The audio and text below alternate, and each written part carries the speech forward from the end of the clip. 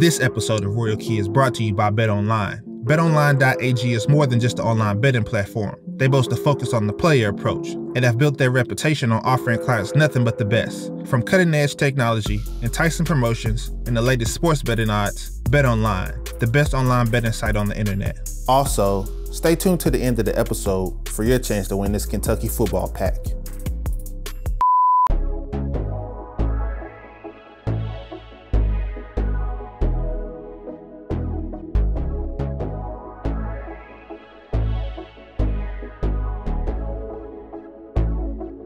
What's going on, world? Brand new episode of Royal Key there on your screen. I'm your host, George Kiel, and I'm here with John Denio of Kentucky. How you doing, John? Doing well. Yeah. Thanks for being here. Yeah, definitely. I'm glad we can finally make this work. We're here in the lobby area right now, right? I'm assuming this is the area that you bring recruits in, and you now have some new hardware to show them, right? Absolutely. The first thing they see when they come in the front door is our Governor's Cup trophy, and also in the same case is our Citrus Bowl trophy for our victory over Penn State on January 1st of this year. That, and then, you know, kids these days are very much into gear, so that's another one of the first things they see, right? Absolutely. So we've got several of our uniform combinations. You know, at Kentucky, we got a great partnership with Nike. We're able to kind of do some really cool stuff with the uniforms. We've got three sets of everything. So three colors of jersey, three color pants, all sorts of different helmet combinations we can roll out. So what we've done here is kind of grabbed six, eight of those different looks to put on display for people to see as they walk in the building. And you know, we've also got a little simulator over here that you can kind of design your own look. Now, another interactive thing in this uh, lobby area is It's a 360 display. It kind of puts you inside the helmet essentially of, a, of one of our players. You pick a video, so you select your video on the screen. And it kind of puts you inside the helmet now. So you have the feeling that you're walking out with the team. And so this is our catwalk that we do before every every home game and it's kind of walking off from the bus, kind of through the band, through the crowd. You know, kind of gets the guys a little hyped up before they even get into the locker room. Yeah, that is awesome. That is awesome.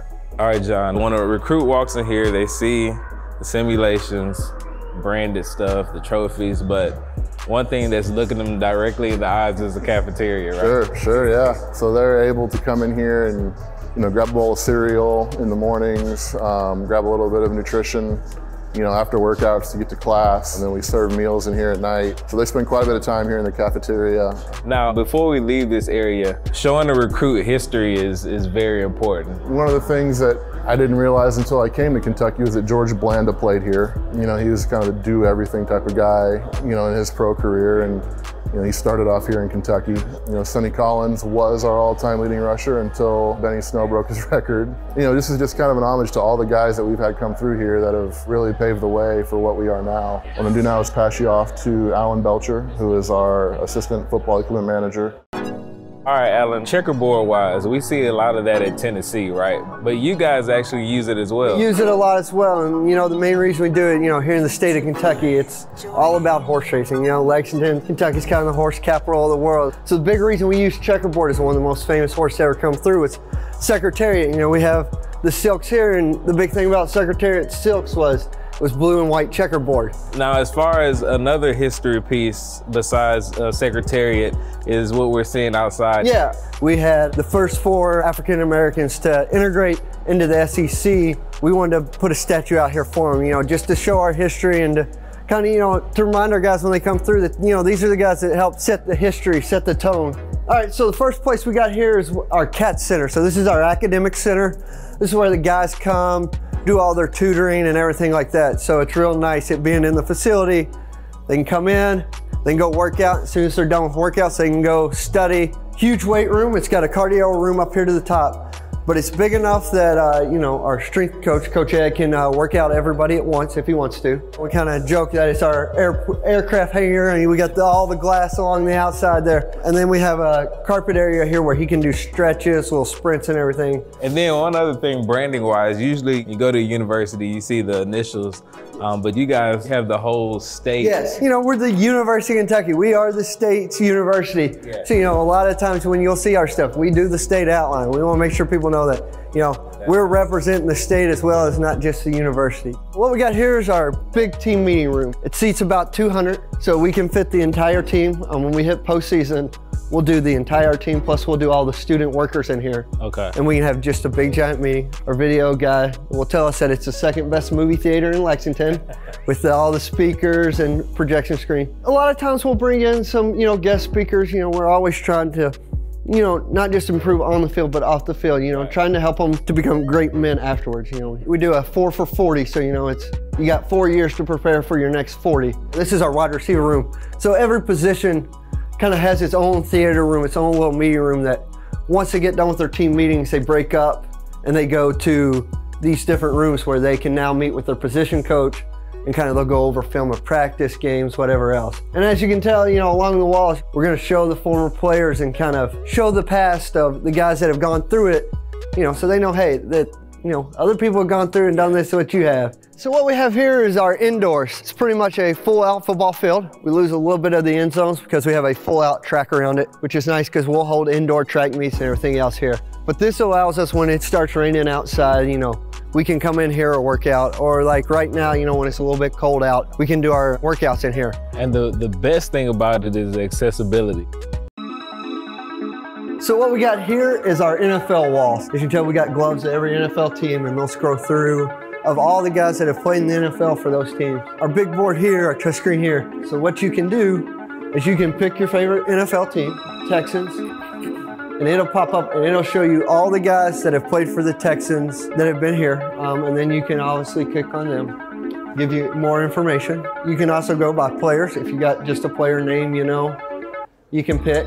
Right across the way is our Gatorade bar rooms. It's just a snack room. It's where they make all their shakes, anything that they need. This is just an area that they can grab something before workouts, you know. You got a few nutritionists in there, so they'll make shakes for them every day. Down the hallway, what we have here is just all the stadiums that you can play in in the SEC. Which one would you say is the craziest atmosphere? Craziest atmosphere? LSU's really crazy. Florida's really crazy, you know. Right, right. Without knowing statistics, which one seems the biggest when you're out there on the field? When you're out there, um, I would say probably Neyland, and I think it actually is the biggest. Florida, to me, is a little bit better because Neyland kind of goes out where Florida's built straight up, so you're just like, oh, everybody's right on top of you, where a lot of these other schools, you got a little bit of space. We're big about kind of showing the past and where we're going and people that have gone through. So this is just a wall of all the people that have been all SEC or all American, whatever else. So I can tell it. Guys that have bigger posters, bigger pictures, or guys that have had more accolades, all Americans, a lot of time in the league. On the other side, we've got our wall of great memories to some of the big games that have happened here. Probably one of the craziest for me was the year we beat number one LSU and we went three overtimes to get it rowdy. So what we have here is our helmets. So here at the University of Kentucky, we have three helmets. Technically, every player gets four. We do a, a blue practice helmet, you know, get a blue game, a white game, and a chrome game. Along with our three colors, we also do three color masks. We do blue, anthracite, and white. You know, we have the the Deion Sanders motto, you look good, you play good. So we'll always make sure you look good, and the one way we do that is, you know, we're gonna match our cleats up with our uniform combo and all that. So we do three different color cleats. We do a white blue, we do a black, and we do a white, all white. So anytime we wear an all white, you know, it could be all white with the chrome white or all white, blue helmet, whatever else. We're gonna wear our white cleats. We're gonna have guys wear the white cleats. Anytime we've got blue in our uniform, we're gonna do the, the blue and white kind of combo. And anytime we wear our all anthracite, which is kind of a dark gray, we're gonna wear the black.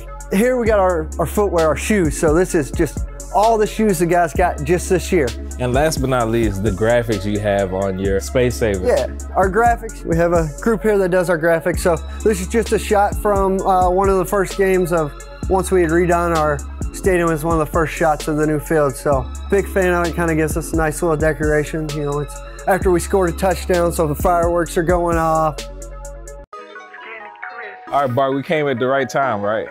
Yes, you did. So what are we doing here? So basically, we're going to take two scans of your head, basically digitally map your head, and we're going to mesh those two scans to make a custom pad set for a helmet that's only going to fit you and only you. So the first scan that we'll do, I'll do one with a shell. Okay, then we'll take the helmet off and then I'll just do it with like a scuba type hood on.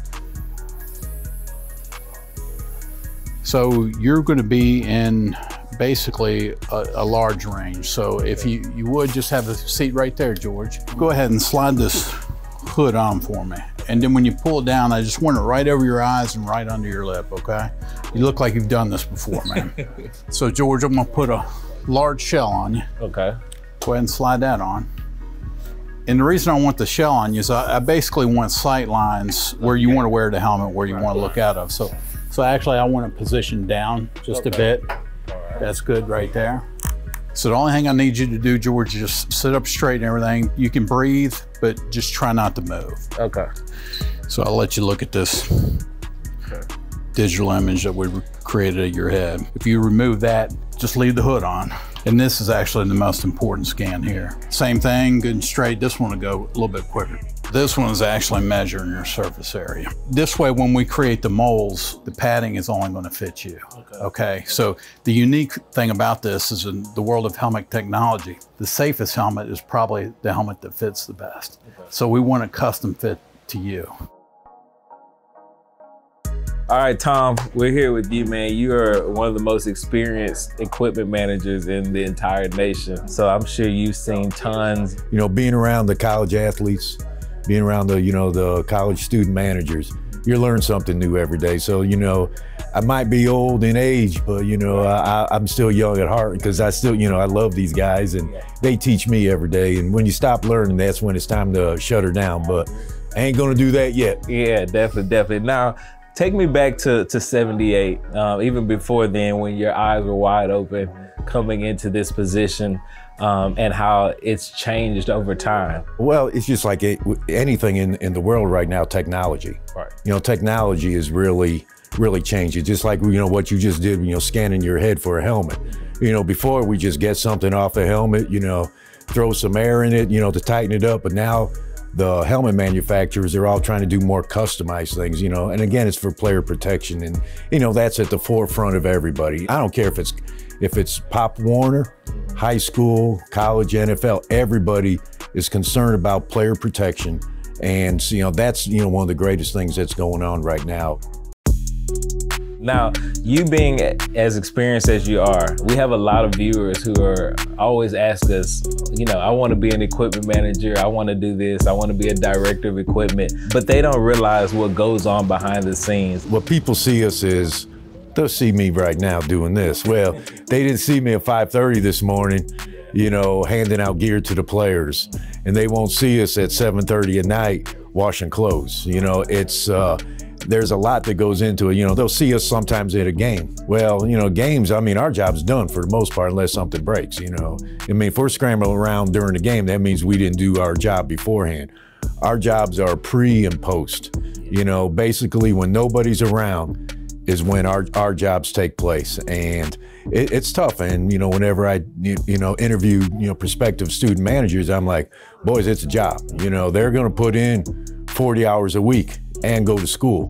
While Al and myself, you know, we're putting in, you know, 80 hours a week. Right, right. You know, and trying to, you know, raise families and all that. So the time constraints that are put upon you are, are pretty extensive. You seem like the type of person who doesn't need the rah rah and, and uh, verbal appreciation all the time. But when have you felt the most appreciated uh, in your position over your career? I mean, basically, when, when a player says thank you, gives me a hug, says TK, I love you. Just the other day, I was just sitting at home and and two of our our our players that are working out, Mike Edwards and Josh Allen, you know, they called me. Yeah. And I, I got the biggest smile on my face because these guys just out of the blue just called. I mean, that that you know, the, the biggest thing, you know, getting a hug from a coach, getting especially getting a hug from a player. Yeah. You know, and and when they say, "Hey, I appreciate you," instead of saying, Tom, I need this. Tom, I need that. You know, it's like, Tom, thank you. Awesome, awesome. Well, TK, I know you're busy, so I, I, appreciate the time, and, and it's an honor to sit next to a person who's been in their position for 40 plus years. it's years. An honor, man. It's, it's luck. It's called luck. Thank you, man. All right, BBN Nation. It's time to get a little gift package from the University of Kentucky Equipment Room and Nike. Hope you guys enjoy because you know BBN means everything to us. To find out how to win that package, follow Coiski Media, C O I S K I Media, and George Kiel, and we'll let you know how to win that. So, Coiski fans, just a FYI, I didn't do this uh, video alone. This time around, I had my guy Sam here. Sam is a uh, an equipment manager at Ballard High School in Louisville, Kentucky. His biggest dream is to be a University of Kentucky equipment manager. So, Sam, I wanted you to come on this experience. Uh, what did you learn? Well, I learned that it takes a lot to be on the next level, that it takes a lot of time and preparation, and that's a big factor in being a successful manager. Right, right, right. So, Ballard, does it have everything that you've seen today? Not necessarily, not everything, but I was really impressed by all the things I see. Like I saw a lot of things that was really impressive. The locker room was really unique. Even though our locker room just got updated last year, I, I was very impressed by the facility. And So, after hearing from Tom, TK, the guy who's been here for 40 plus years, still up for it? yeah, I'm, I'm really up for it. I can't wait. Definitely, definitely. Well, I'm glad you got a chance to come check this out, man. And Thank you uh, very much. Best of luck. Uh, God bless you, man. Keep doing your thing. Thanks again to betonline.ag for sponsoring this episode of Royal Key. Join them today and use the promo code RoyalKey for a 50% welcome bonus. Again, that's betonline.ag. If you haven't already, subscribe to our channel to see exclusive content and more Royal Key episodes.